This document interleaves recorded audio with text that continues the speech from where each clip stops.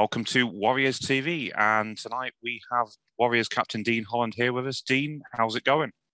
Yeah, not bad. Um, just getting uh, getting ready for the season, enjoying my last couple of weekends off. Yeah, how have you been spending your time off? I know you, you've been doing your bike racing still, so how's that going? Yeah, it, it's going pretty well. Um, we've got a couple of weekends left. Uh, in one in the, one this month and two in next month, and then we're done for the year. I know it must be important, obviously, with um, two former Warriors players there alongside you. So that's that's going to be a lot of fun, isn't it, to have DJ and uh, and Martin there, who two people yeah. you've known for many years, of course. Yeah, we'll get on great. You know, it's uh, we'll have a laugh when we're there, and it's like home from home. Really, it's uh, it's good fun.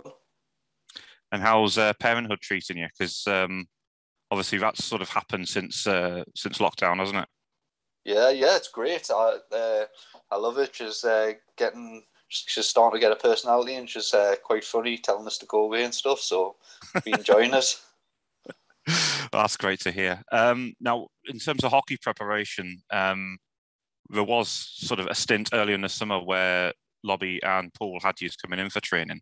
Um, there was then a, a, a, stoppage for that, and now we've just started up again um, this week, I believe. Is that correct? Yeah, that's right. Yeah, well, obviously we'll, we'll practice for a, for a while. Um, I think it was a couple of months, maybe, and it was good laughing. All the lads got on great, and we we just had a, uh, a scrimmage every Friday night, and you know it was just good to be back on the ice and have that bit big social social social social uh, gathering, and yeah, enjoyed it. Yeah, I got the impression certainly from when we spoke to various lads at the golf days last year and this year was it was that sort of um, social side that you all were missing. Um, so I suppose stuff like that was as important as it was to do the, the on ice conditioning.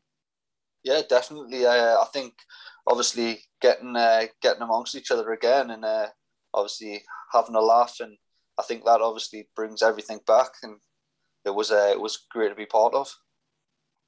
Uh, last week we got the confirmation that the league season is starting back next month. So uh, I'm, I'm assuming you must be really excited about that. Yeah, yeah, I cannot wait. Obviously, it's been a long 18 months of no competition. And, uh, you know, like at the start, maybe it was like welcome that we had a little break, but after a while, you like I do miss the competition. Yeah, I, I can well imagine. And I mean, 18 months off is probably the longest stint any of you have, have had away from the sport, isn't it? Oh, yeah, I've never had it. Well, since I was 10, I've never had a year off. So to have apart from I think I missed about three months with an injury. Apart from that, I've every year I've played. You think part of that is because it's been so long that perhaps a lot of people are now probably thinking, you know, we, we want it even more now. We've missed it because it's been such so long. So that sort of thirst and, and hunger for the sport is perhaps greater and it would be after a normal sort of off season. Yeah, without a doubt. I think the first first maybe say 10 12 games is going to be fast. It's going to be hard. I think everyone's going to be like eager to get going and i think it's going to be really competitive. Now you've been named captain again this year and i know it's a role that you've relished in previous seasons so uh, I'm, I'm assuming you must be delighted to, to continue that.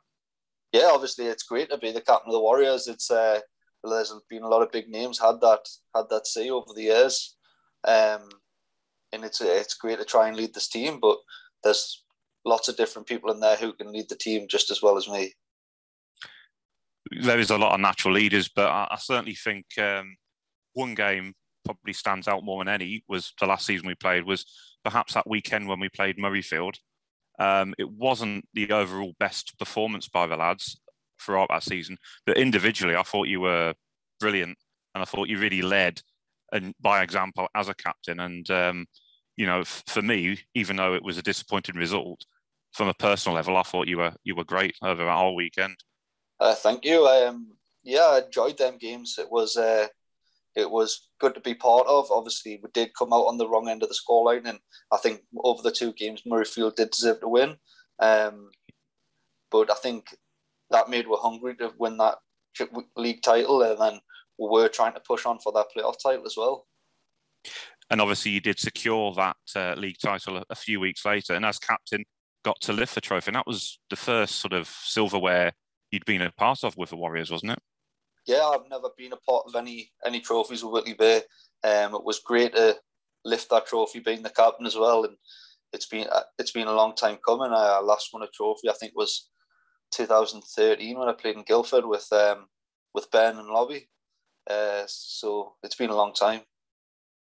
Yeah. So and obviously congratulations on that. That was uh, a long time ago now, of course. But um, you mentioned as well the playoffs and the championship game, which should have been played, was cancelled, and there's probably a little bit of frustration there that you didn't get the opportunity to win more last time out. Yeah, without a doubt, I think the playoff the playoff title was definitely something worth chasing, and you know them games are going to be really hard. Um, it comes it just comes down to on the day who turns up on the day. It's all the league form and everything goes out the window, and um, but I think it's definitely something we could have aimed for. Yeah, of course. Um, looking ahead to this season, do you think that there's um, a very good chance that we can maybe put some of that right and claim a, a few more pieces of silverware this season? I think it'll be very hard. It's really hard to claim back-to-back titles. Um, obviously, everybody will be gunning for you, seeing the, the previous year's champion. Um, but I think we've got a team to work hard and hopefully we'll uh, be there or thereabouts at the end of the season. Yeah, and there's one or two new faces coming in this season, so um, you'd expect them to bed in nicely and um, and add to the quality that we've already got.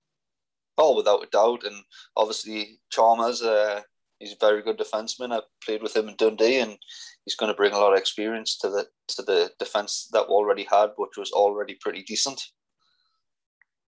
Yeah, absolutely. It looks like it's going to be um, a massive plus point the, the blue line this season. Yeah, without a doubt. I think um, it'll really help with when it comes to big games having that player with extra experience and the skating ability that he's got. Yeah, uh, just saying there about the uh, this upcoming season and there to be be shot at, but you probably suspect it would be the usual teams up there, the likes of uh, Solway and Solihull, that would be our main challenges. Would you say?